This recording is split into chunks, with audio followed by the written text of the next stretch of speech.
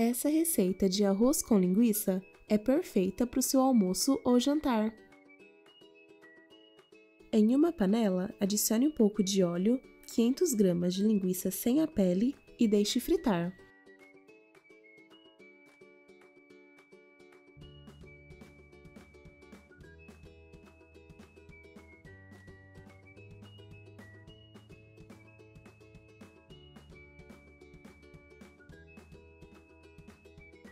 Acrescente uma cebola picada, dois dentes de alho picados e deixe dourar.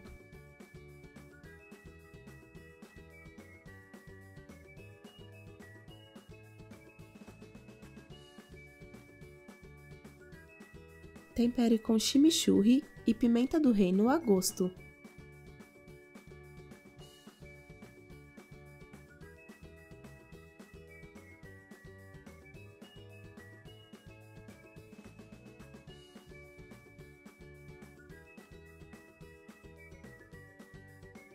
Agora, adicione um pimentão vermelho picado, azeitonas a gosto, 170 gramas de milho, o suco de meio limão e misture novamente.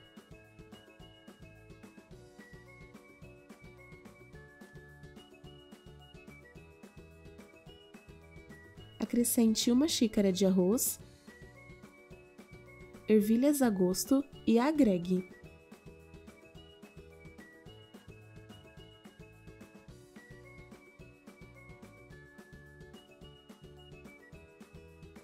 Em seguida, adicione uma colher de chá de sal, 170 gramas de molho de tomate, coloque água até cobrir, misture e deixe cozinhar até secar a água.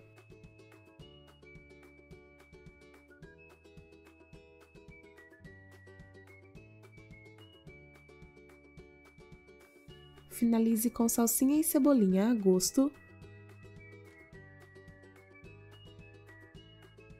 mussarela fatiada,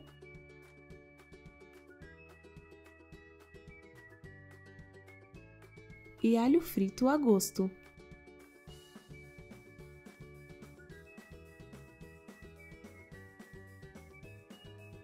Tampe e deixe cozinhar até derreter o queijo.